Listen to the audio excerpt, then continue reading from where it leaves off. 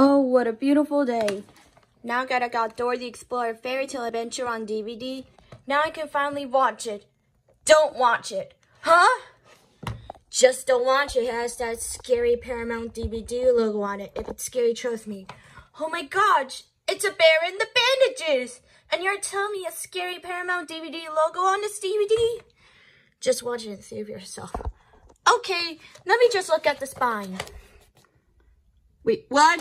Just put the disc in, would you? Fine. Seems like I had to do everything around here.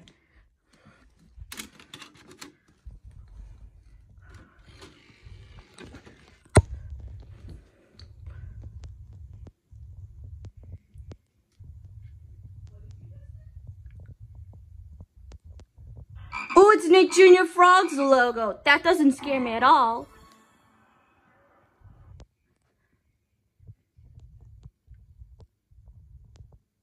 Ooh, stars. Wait a minute. What the heck is that noise? Oh no. No, no, no.